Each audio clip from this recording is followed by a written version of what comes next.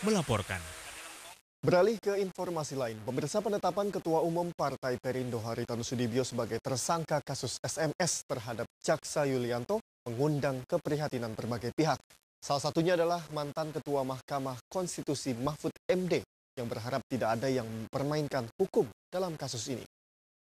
Kan nanti bisa diselesaikan secara hukum dan tidak ada yang memain-mainkan hukum siapa pun kan gitu. Ini negara hukum bukannya.